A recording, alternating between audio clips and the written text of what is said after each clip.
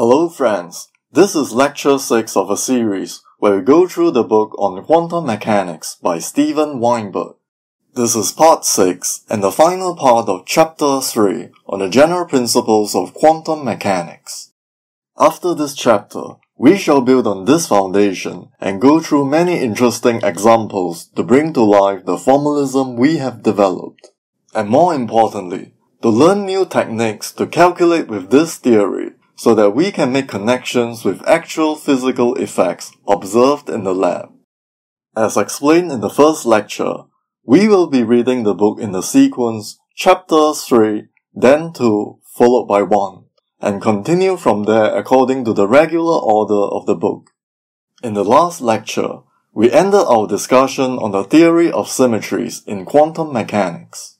In this lecture, we shall begin by elaborating on the connection between time reversal and anti-unitary operators, which is briefly mentioned in Lecture 3.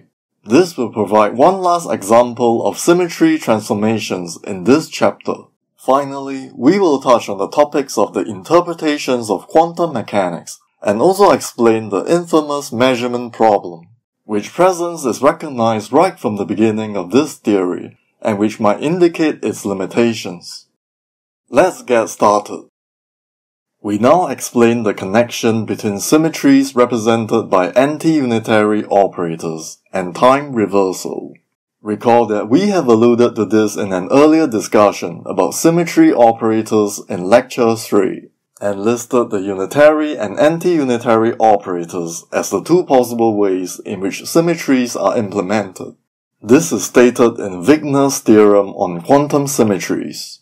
Here, we will prove that an anti-unitary symmetry always leads to time reversal as one of the consequences. Recall the definition of an anti-unitary operator. It is an operator that does not change the inner product of any two vectors apart from a complex conjugation. Compare this with an unitary operator.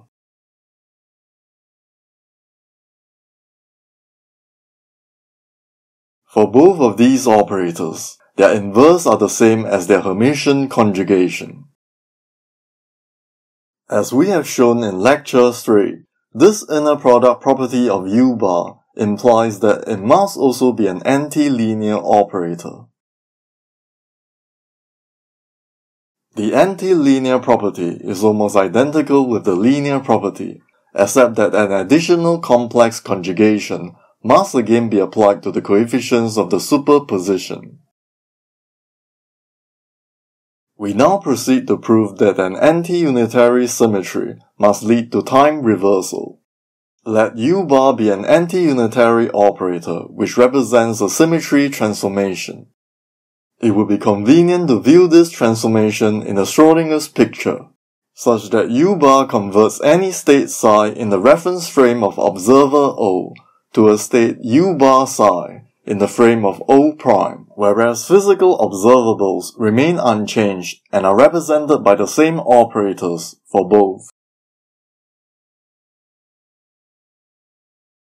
As the system evolves from time equals zero to time t, the state according to observer O turns from psi to the time evolved psi, generated by the Hamiltonian, as prescribed by quantum mechanics.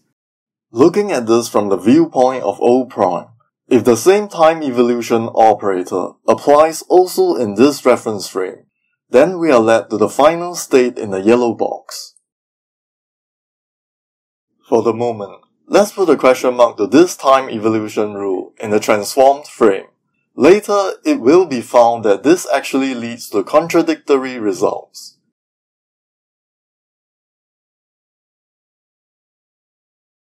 To be consistent, this final state has to agree with the one obtained by applying U bar to the final state described by O, which converts it to a description by O prime. The equality of the yellow box and the red box for any arbitrary state psi leads to the operator equation in the white box. Let's rearrange this equation by using the identity in the green box.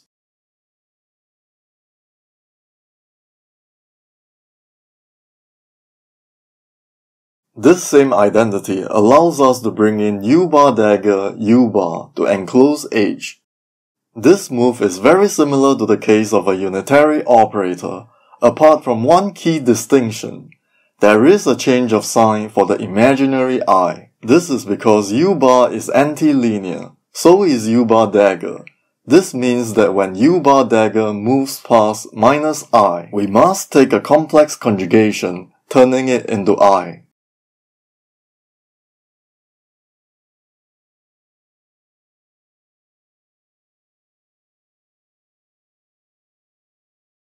From the equation at the top, comparing the exponent on both sides, we can conclude that h under an anti-unitary transformation becomes minus h. We claim that this will lead to a contradiction. This can be seen in the following way. For any Hamiltonian, its eigenvalues must be bounded from below by some minimum value. This is so that the system would not cascade into lower and lower energy states, releasing an infinite amount of energy in the process. For observer O, if there is an energy state with a positive eigenvalue, what is the eigenvalue of its counterpart U bar E in the frame of O prime? Apply H to this, and using the identity in the blue box, we have Notice that the term in the green box is just the left-hand side of the equation in the yellow box. And so is equal to minus h. We can now apply h directly to state E and use the eigenvalue equation above. Thus the eigenvalue of u bar e is equal to minus e, which is negative. Since there is no upper bound to e, minus e could be arbitrarily small, even smaller than the minimum energy E naught. Thus the state u bar e is an eigenstate of H with an energy lower than its minimum energy. This is an obvious contradiction. Therefore, the equation in the yellow box, which leads to this conclusion, must be inconsistent. This problem could be easily fixed if we assume instead that the action of u bar leaves h invariant, thereby allowing us to drop the resulting minus sign in front of e. As a result, the state E and U bar E would have the same energy, which is greater than E naught, thus removing the contradiction. So we should use the consistent relation in the yellow box instead. Tracing the source of the inconsistency in the red box.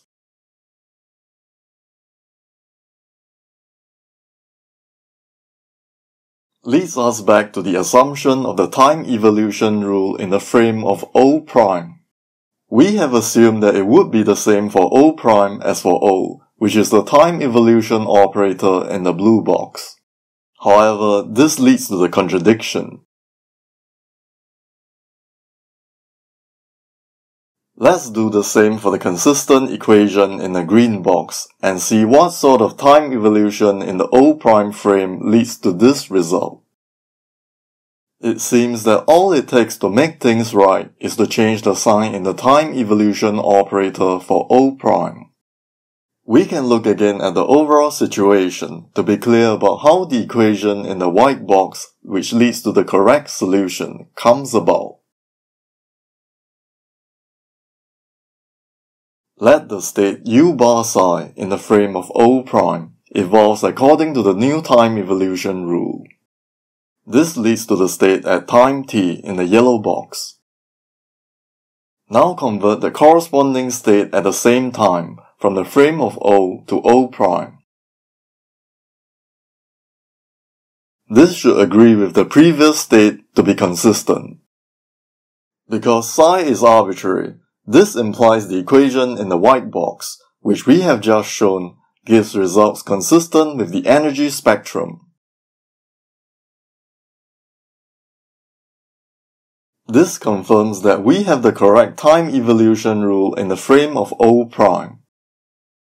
To agree with the time evolution rule in the formalism of quantum mechanics, this has to be written in the following standard form, where time for observer O prime has to be redefined as t prime, which is equal to minus t.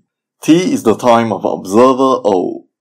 This means the time reversal of O prime relative to O.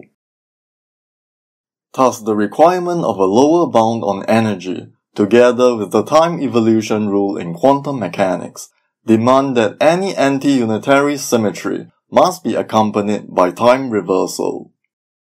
This is a general result.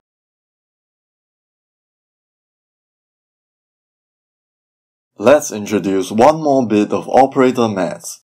This is an operation that acts on an operator and turns it into a number. The trace of an operator A is defined as the following. It is the sum of diagonal elements of the matrix representation of A given in an arbitrary basis.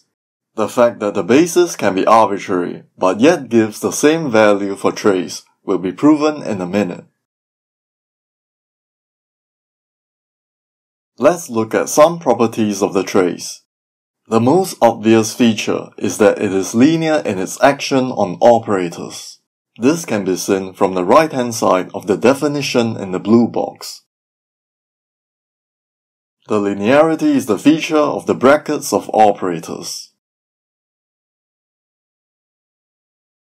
Alpha and beta are complex numbers.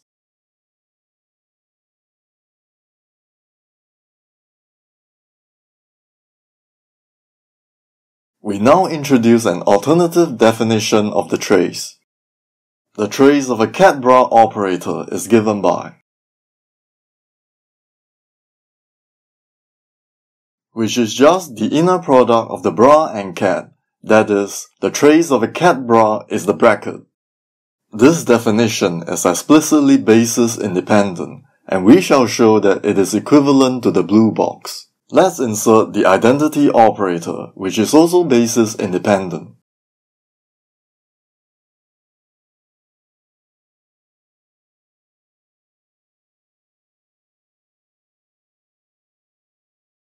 We can reorder the two terms in the yellow box. It is then apparent that we end up with a result that is equivalent to the right hand side of the blue box if A is set to the ket bra psi-phi. Therefore, the definition of trace in the blue box is also basis independent, since it is equivalent to the one in the yellow box. Let's quickly remind ourselves why any operator can be expressed as ket bras.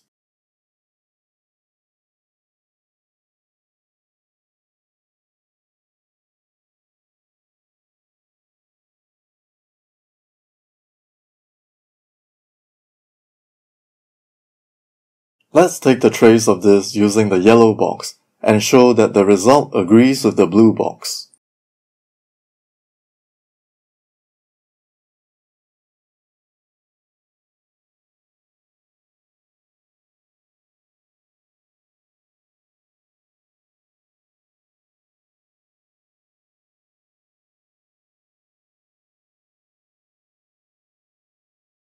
The trace of a ket bra also makes another feature of the trace more apparent.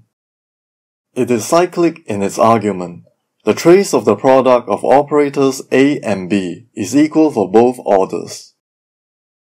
This can be seen by letting A be ket bra 1 and B be ket bra 2. The trace in one order is given by Note that the entire term in the yellow braces can be treated as one ket. This can be evaluated using the definition in the yellow box.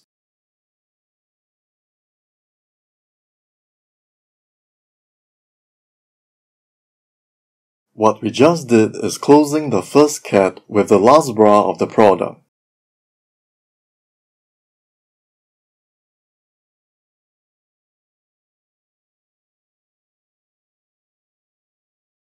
The product of these two complex numbers can simply be switched. As a result, the right-hand side of this equation can then be written as another trace. Hence the trace of an operator product is the same in both orders. This proves the cyclic property. The last property which we will look at is how the trace of a Hermitian conjugate is related to the original operator. Recall that the Hermitian conjugate of a ket bra is simply switching the bra and ket.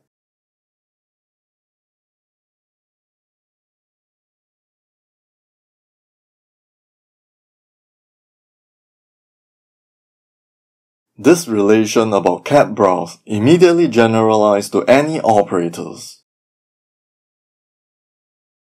Thus the trace of a Hermitian conjugate is just a complex conjugate of the trace.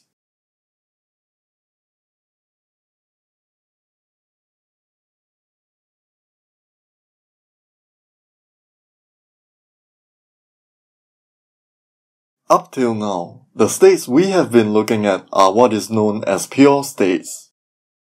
These are vectors in Hilbert space. We now introduce another kind of state called the mixed state. This is the situation where the system is in some state among an ensemble of states. We just don't know exactly which one, only their probabilities.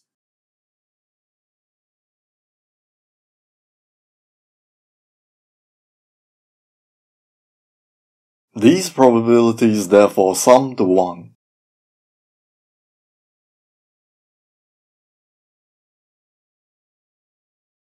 This is what is known as a classical mixture of quantum states. Classical in the sense that the system is definitely already in one of these states. We are just uncertain about which, and there are only quantum uncertainties within each state vector.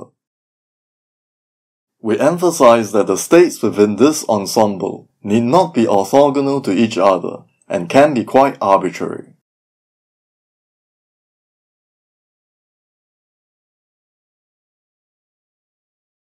So the information contained in a mixed state are the states in the ensemble and their probabilities of occurrence. One example of how such a state is prepared is when someone rolled the dice and handed us a state from the ensemble, depending on this result, while we on the other hand are blind to this selection. The mixed state carries all the statistical information about the system. For example, we can calculate the average value of an observable. For just a single state in the ensemble, this is given by this is the average over one quantum state while the average over the entire ensemble is simply the expectation value over all the states weighted with the given probabilities. Each bracket of A within the sum can be expressed as the trace of the product of A and a projector of each state in the ensemble. Here we have used the rule for the trace of a ket bra by regarding A acting on psi i as another ket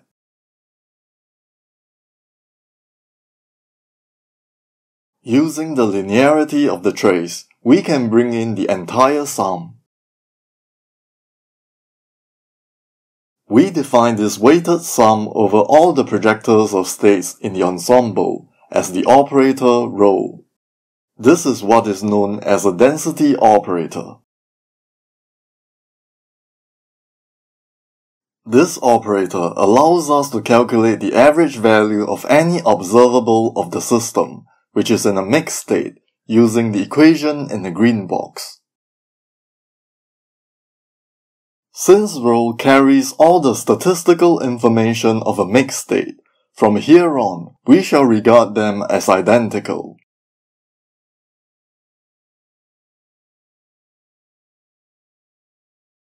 As further evidence of this last point, we now show how the density operator can be used to calculate the probability of an outcome from measuring an observable.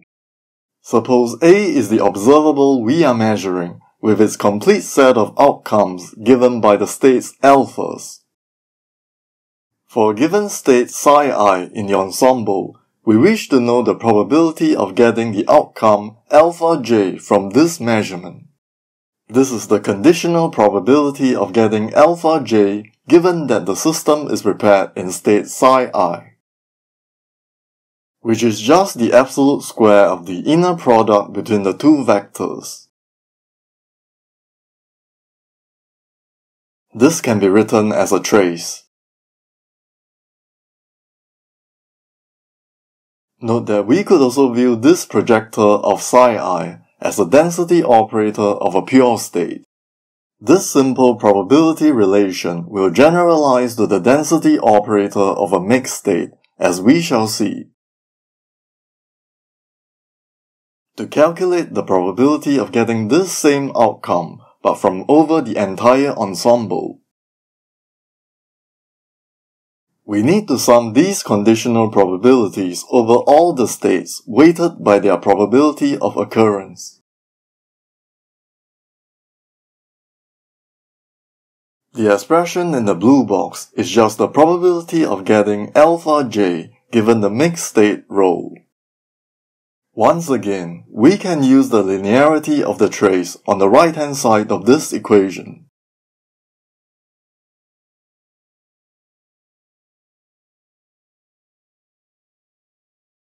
Due to the cyclic property, we can switch the order. This is the same result as for the pure state. This equation allows us to calculate the probability distribution of any measurement on a mixed state.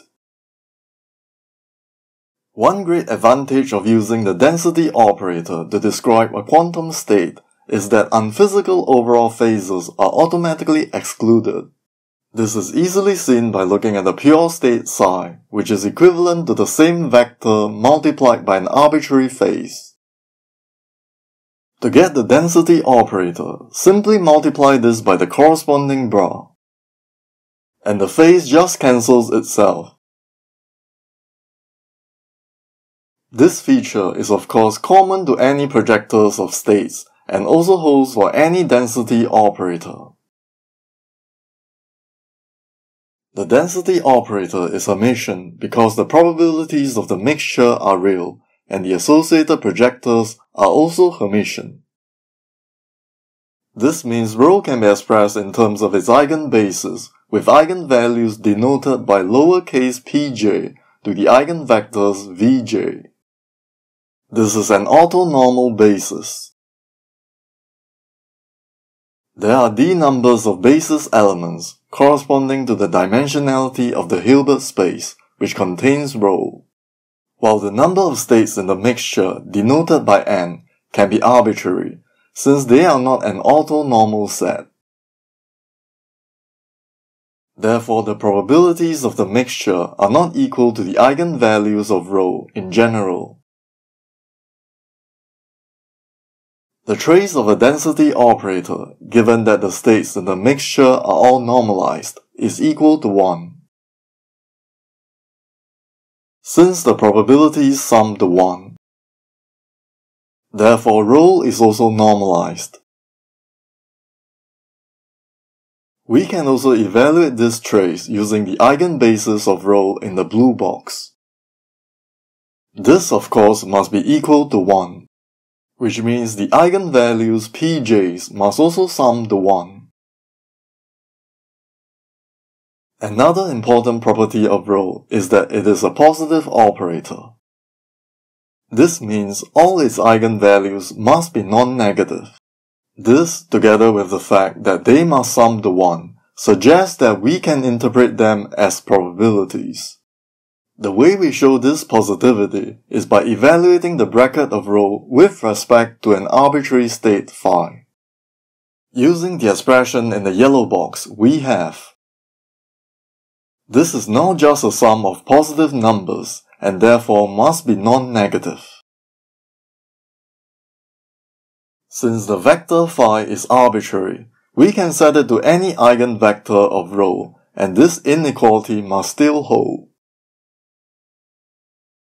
The bracket of rho with respect to its eigenvector vj is just the eigenvalue.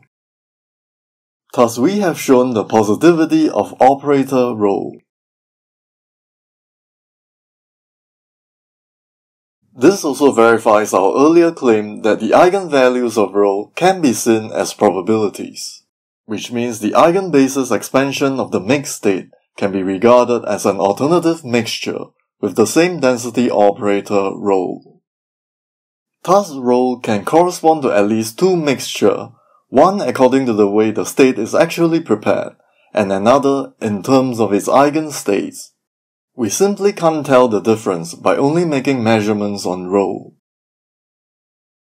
Only the person who prepared the state knows the exact mixture. In fact, there are an infinite number of mixtures that correspond to the same density operator. This is a rather remarkable fact about mixed states. This flexibility in representations is used in many proofs of theorems concerning density operators. We shall give a straightforward demonstration right away. We start with the original mixture of rho. Basically, we will show that any arbitrary unitary transformation will give us a different mixture for the same density operator. And since there are an infinite number of unitary matrices, we will have an infinite number of different mixtures. To make things simple, let's cast this into the following form. Where we have absorbed the probabilities into the ket bras.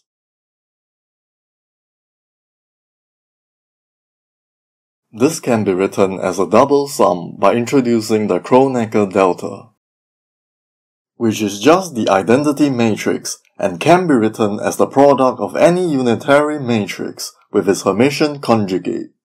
Pay close attention to which indices are free and which are summed over. The sum is over values from 1 to n, matching the domain of i and i prime, because U must be a square matrix. Let's put this back into the equation.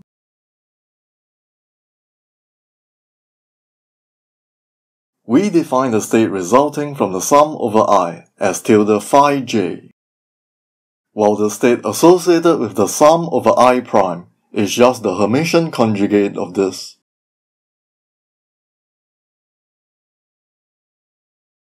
The trace of this expression is still equal to 1. Since each term in this sum is an absolute square of a vector, which by definition is non-negative, this equation implies that the absolute square of tilde phi j is a fraction.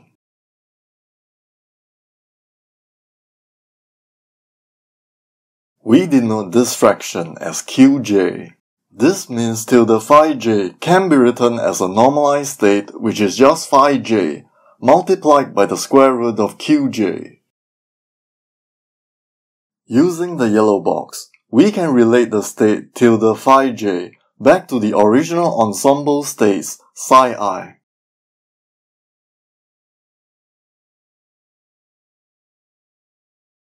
Now using the green box, we have expressed phi j in terms of psi j in the blue box.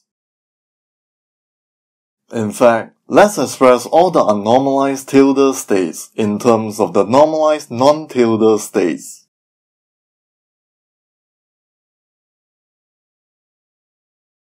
Note that the expression in the green box, which is the alternate form of the density operator, is also in the standard form of a mixed state, with qj's as the probabilities associated with the normalized projectors phi j. Since there are an infinite number of unitary matrices to construct the states phi j out of psi i, using the relation in the blue box, the number of the resulting alternate mixed states in the green box is also infinite. Thus we have shown how a density operator can have an infinite number of representations as mixed states. The density operator could represent both a pure state and a mixed state. It is a pure state if there is only one state in its ensemble. It would be good to have a quantity that could distinguish between a pure state and a mixed state. For this purpose, the von Neumann entropy is introduced.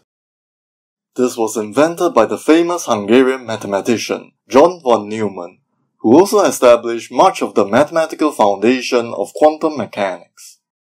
In fact, his book on this subject is still in print and widely read. To better understand this formula, let's look at the operator within the trace and cast it into a convenient form using the expression of rho in its eigenbasis.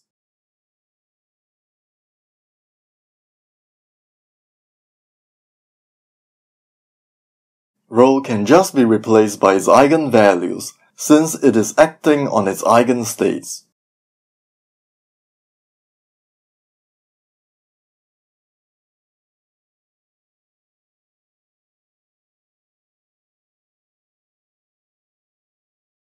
This new expression is precisely the Gibbs entropy in statistical mechanics where it is introduced to quantify the uncertainties in the probability distributions describing classical ensembles in a many-particle system. But there is a great distinction from the quantum mechanical case. The probabilities Pj only describe measurements in the eigenbasis of rho. In quantum mechanics, one can make measurements in many different bases that correspond to observables that do not commute with each other. Hence, we will get different probability distributions depending on what we are measuring. In classical mechanics, all the physical attributes of a system can occur simultaneously, and there could be one joint probability distribution for all of them. Nevertheless, we shall show that the von Neumann entropy can provide a meaningful measure of disorder within rho. To do this, we must first determine a good criteria for a disordered state. Suppose initially we were given a mixed state rho. We then perform a measurement to see if our system could be in a particular state psi. The probability of such an outcome is given by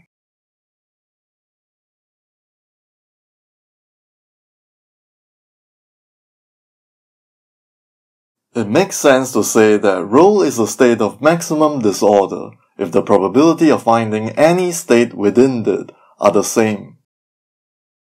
This means the bracket of rho with respect to any state must be constant. The equation in the blue box implies that rho must be proportional to the identity operator. The normalization condition then fixed the prefactor to be 1 over d.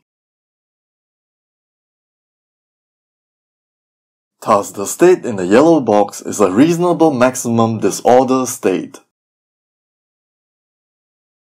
Let's see what is the value of its entropy. Substituting the expression in the yellow box.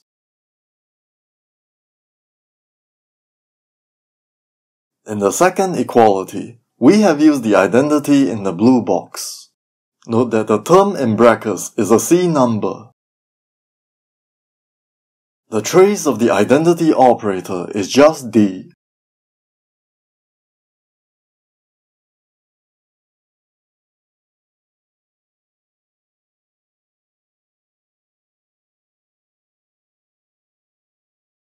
Thus we have the entropy of the maximum disordered state.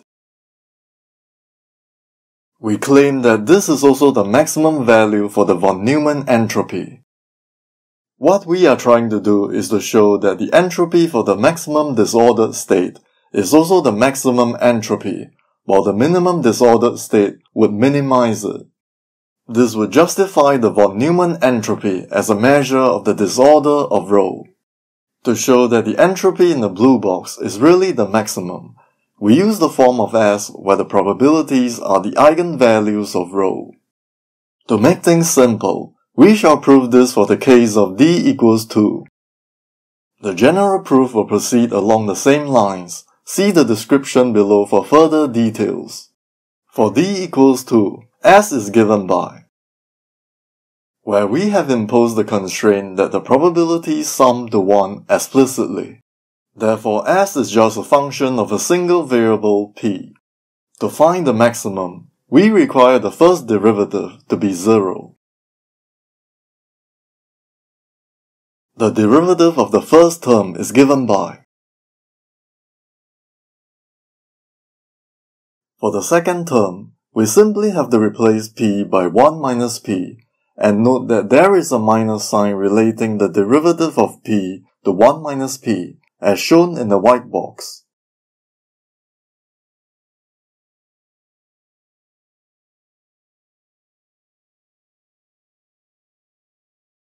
Requiring this to be zero implies So P must be equal to half. This gives the value for maximum entropy.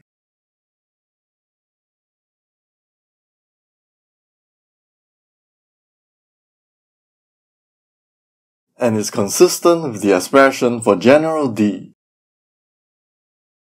To confirm that this extremal value is really the maximum, we need to show that the second derivative is negative. Indeed it is.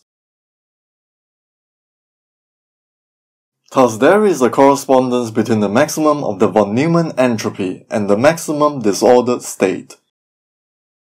All the eigenvalues of this state are equal to 1 over d, which is the uniform probability of getting any state. We now look for a state that minimizes S. Going into the eigenbases again,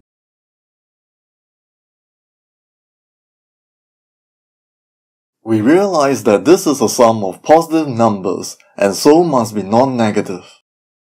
This suggests that the minimum entropy could be zero if only we could find a state with this entropy. This is easy as it is just a mixed state with only one non-zero probability taking the value of 1 and the rest are 0. In other words, a pure state. To evaluate the left-hand side of this inequality given the probabilities in the white box, we need to calculate the following limit. This is easily shown to go to zero. If we rewrite the function like so, and use the L'Hopital's rule, the term associated with probability 1 is also zero. This is quite straightforward.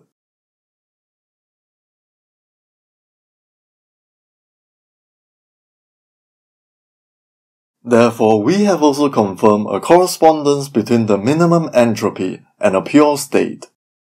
A pure state is a natural definition for a state of minimum disorder, as we are certain that the system is definitely in a particular state.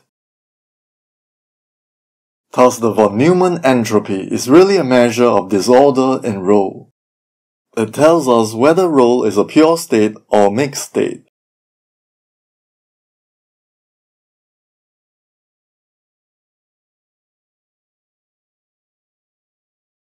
We have come to the final part of this lecture. This is where we discuss issues on the foundations of quantum mechanics that are still arguably controversial and remain on the frontier of current research. Let's talk about the interpretations of quantum mechanics. This is how the formalism of QM is related to what we observed in the lab.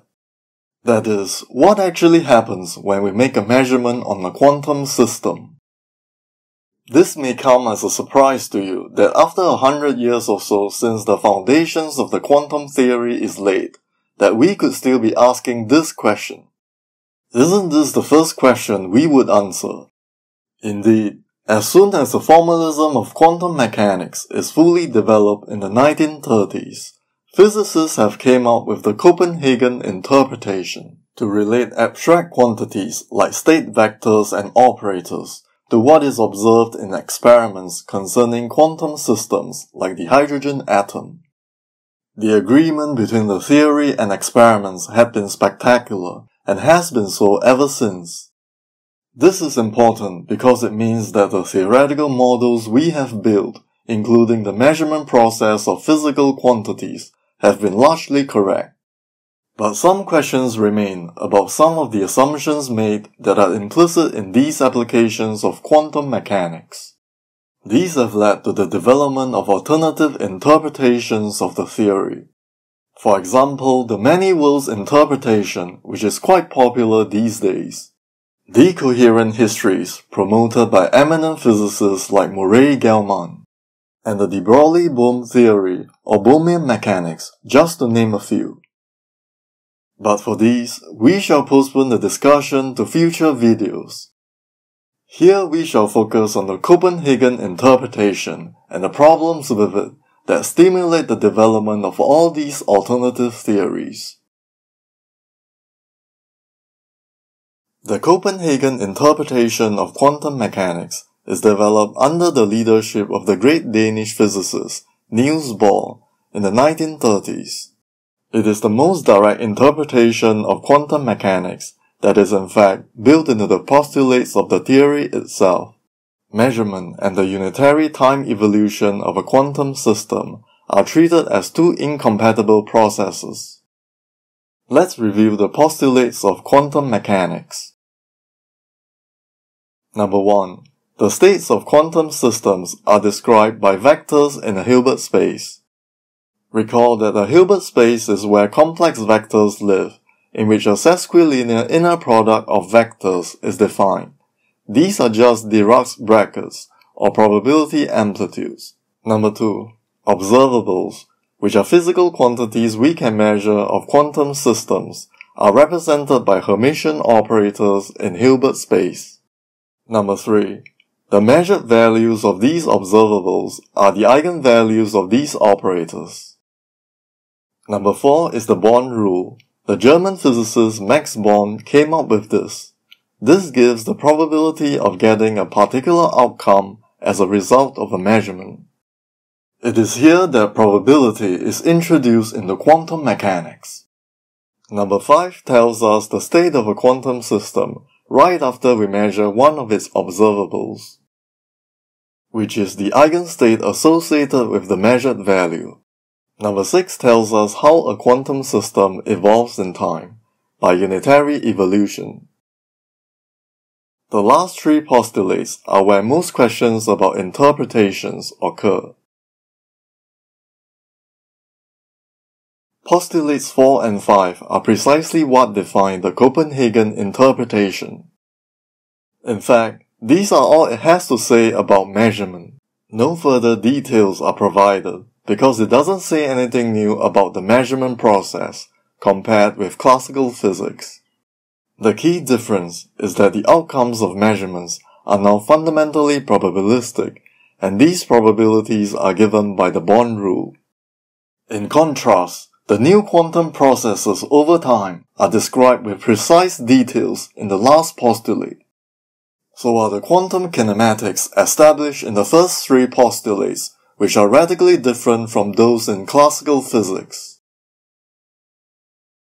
In other words, the Copenhagen interpretation says just use classical physics to describe your measuring apparatus. Of course, for most practical purposes, this works extremely well, since these instruments are macroscopic objects, and classical physics was developed precisely from observing such objects. As we shall see, a potential problem arises when we consider quantum mechanics to be a universal theory, and applied even to large objects. For now, let's examine the two kinds of state change that could occur in quantum mechanics. One is the deterministic unitary evolution of a state vector without any measurement taking place during the process.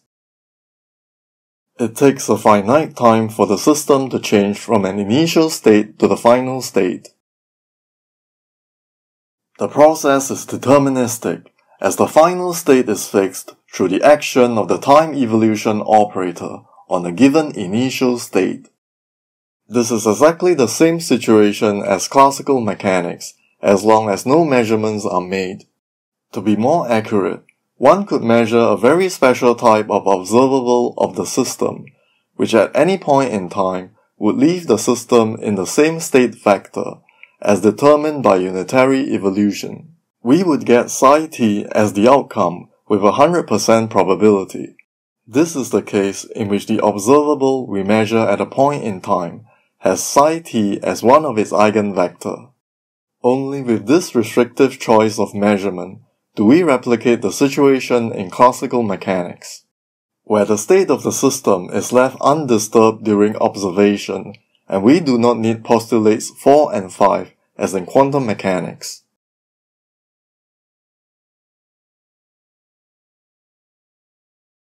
However, for the measurement of all the other observables, for which psi t is not the eigenstate, we would encounter the second type of state change in quantum mechanics,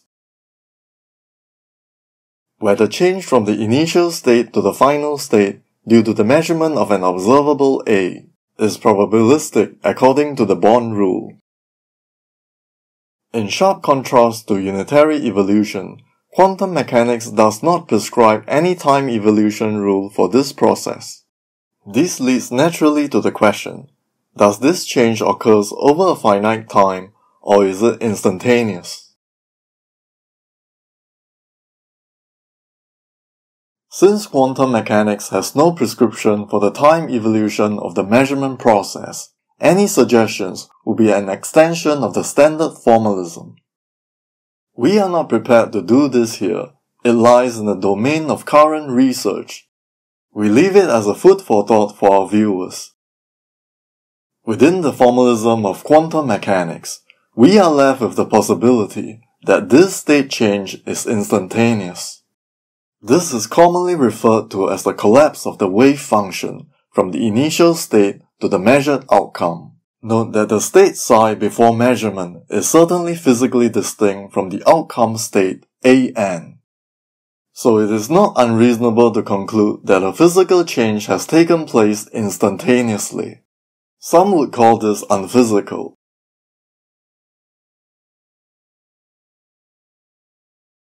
This leads some to suggest that in fact no physical change has taken place. Rather, we have simply updated our description of the system upon receiving more information from the measurement. For this to make sense, it seems that one needs to assume that the physical change has already taken place through some underlying time-dependent process. And we are just recording the end result being ignorant of this process. This kind of argument seems to draw analogy from the situation in classical statistical mechanics, where probabilities arise as a result of the ignorance of the observer about the initial conditions of the system.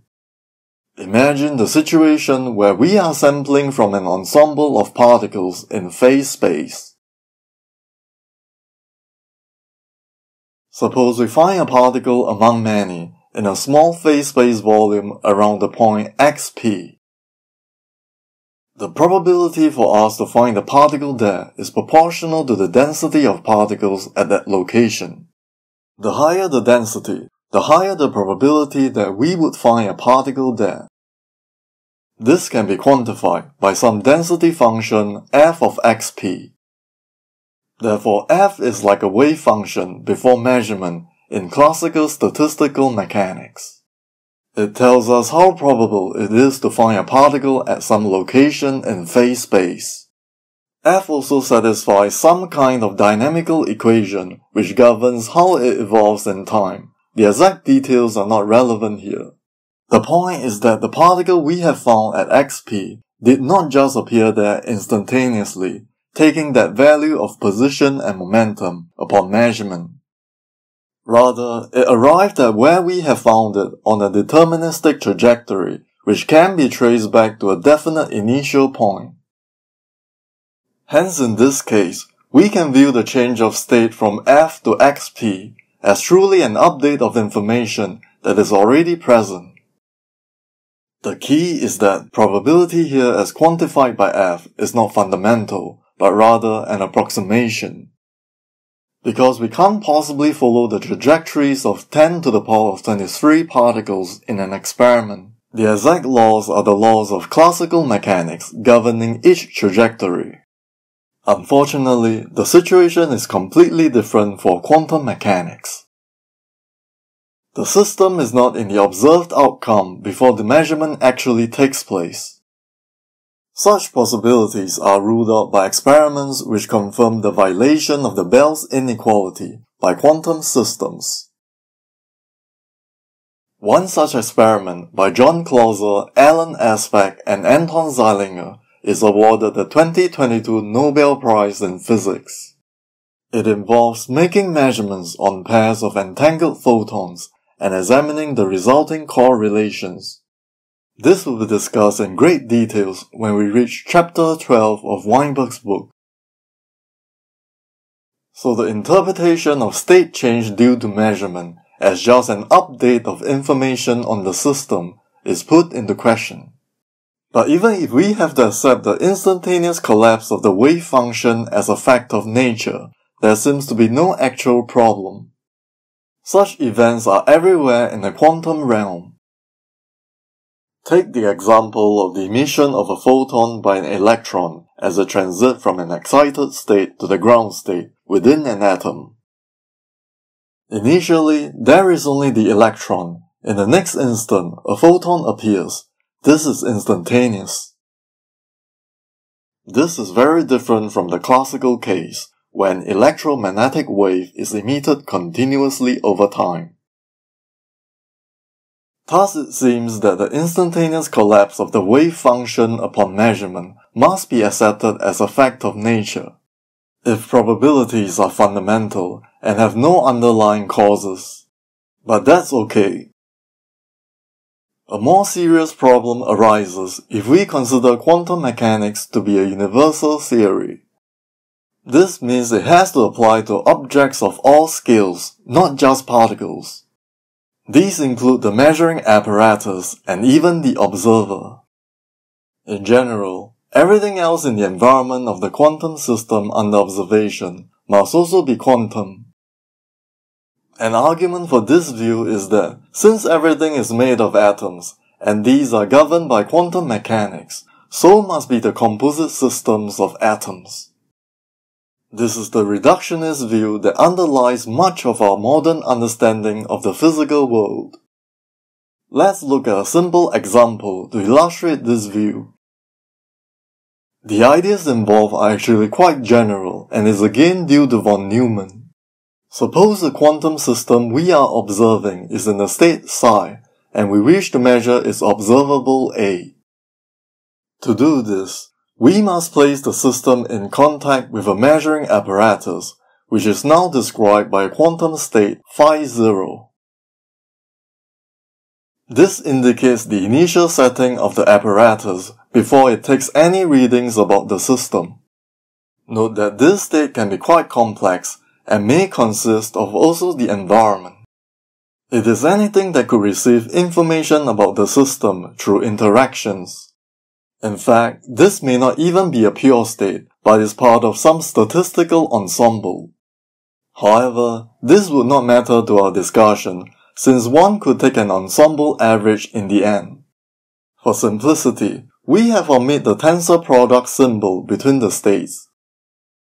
Phi is sometimes called the pointer state, as it is supposed to point to the measured value of the observable we are measuring.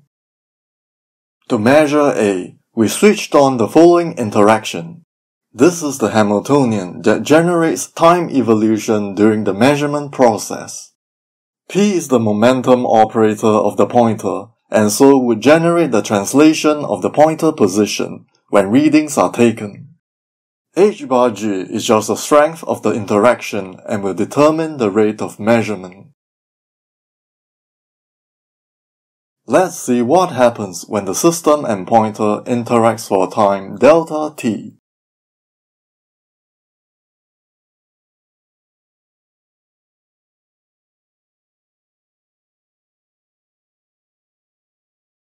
Let the time evolution operator act on each element in the superposition. The operator A is acting on its eigenstates and can be replaced by its eigenvalues.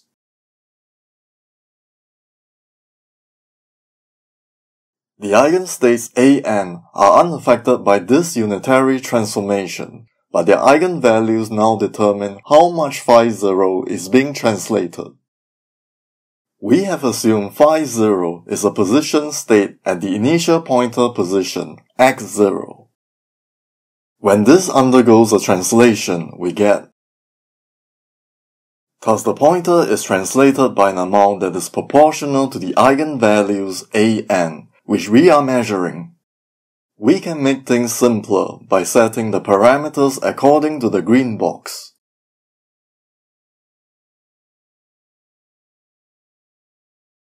In this way, the readings of observable A are registered on the pointer state of the measuring apparatus.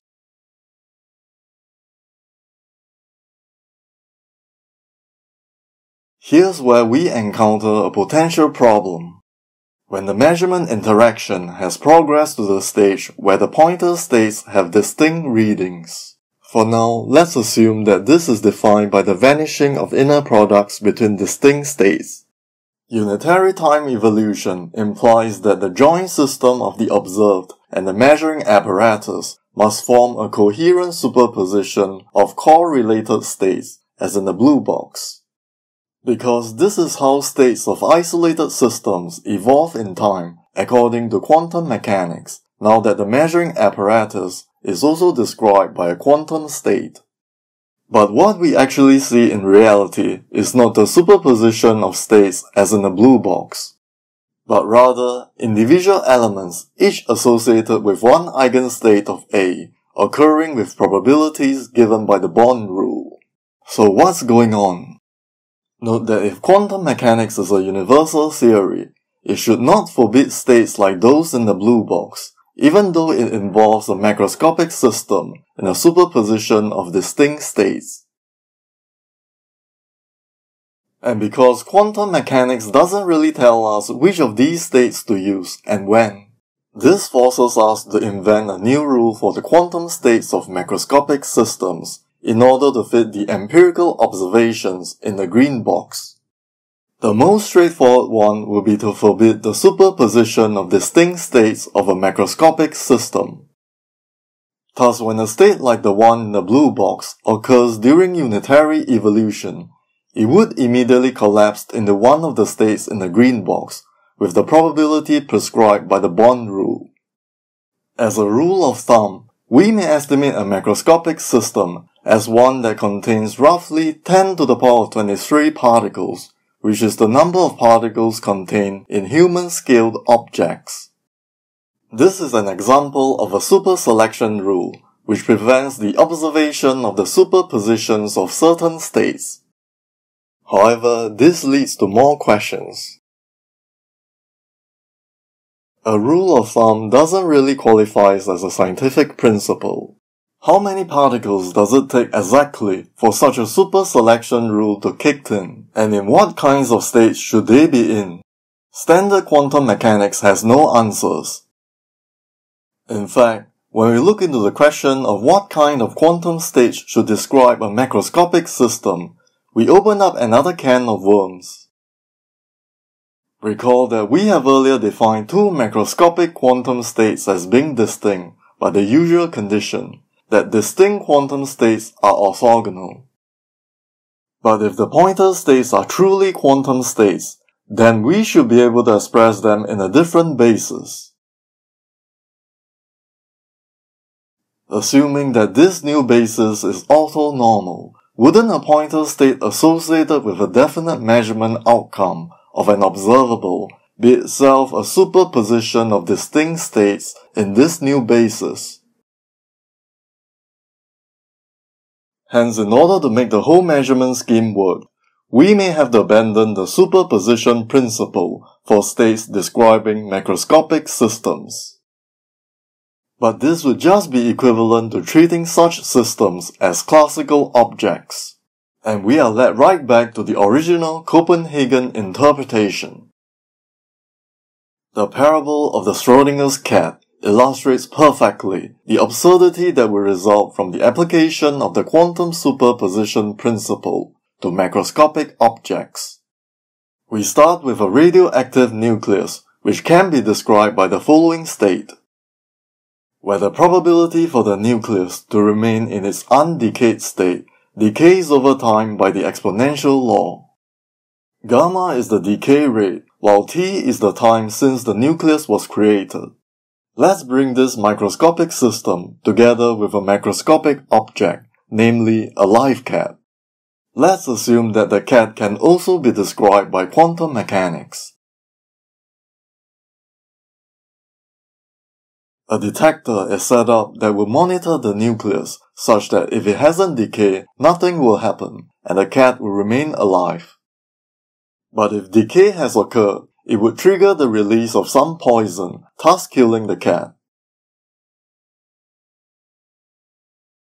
Therefore, over time, the nucleus and the cat will be found in this joint state, which is an entangled state between nucleus and cat.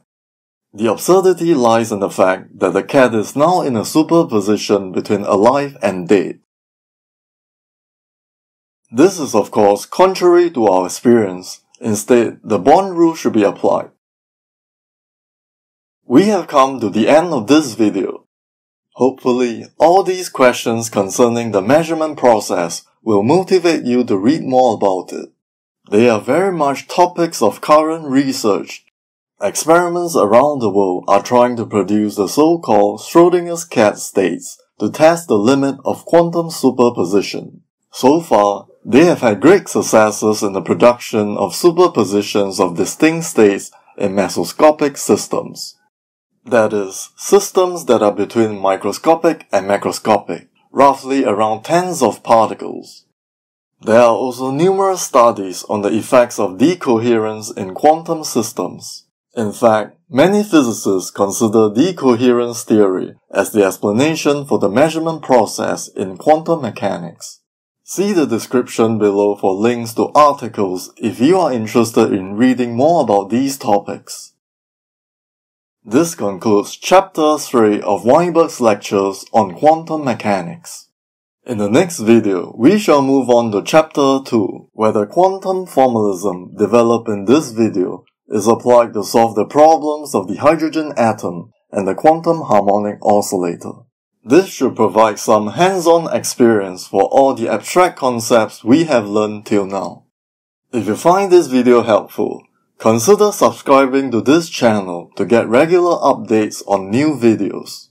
Leave your questions in the comment section and I will try to answer them in a follow-up video. See you next time and thanks for watching.